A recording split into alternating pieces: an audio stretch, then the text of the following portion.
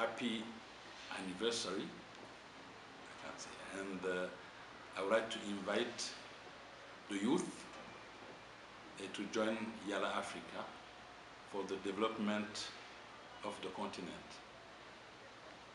And long life to Yala Africa. Uh, let's work together